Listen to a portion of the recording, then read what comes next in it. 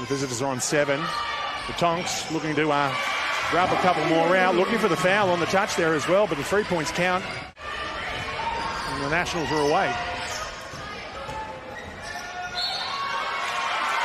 You get that basket though. Back to Tonks. Bates doing a good job there of uh, screening out uh, Kettles for the pass, but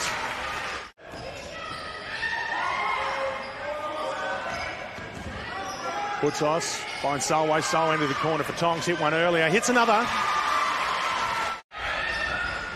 Asking for basket in the last few minutes. Oh, good work by Slater. Good spot.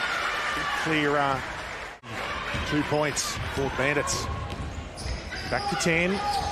Can't afford to go point for point though. The Nationals. Tonks off the glass and one. He hit some big shots and quickly. Bourne, capable of it, does it.